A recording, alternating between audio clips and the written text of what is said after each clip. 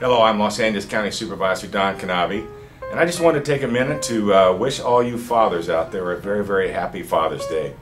Father's Day to me is a very special time, and I have many great memories of my father who passed away a few years ago, uh, our Father's Day together, my grandfather, uh, and now to be able to spend it with my boys and my grandchildren and my wife and family. So it'll be a typical day of us all getting together to share some good food and have a nice time and just have a good fun family day. So I want to uh, wish all of you uh, a very special day, uh, this Father's Day. And most importantly too, I want to uh, remember those men uh, who are overseas in Afghanistan, Iraq, or wherever they may be stationed throughout the world that we're missing Father's Day at home too.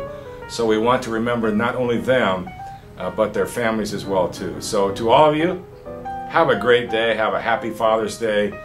May God bless each of you, and may God continue to bless the men and women who are in harm's way for us, and may God continue to bless the United States of America. Have a great Father's Day. Thank you.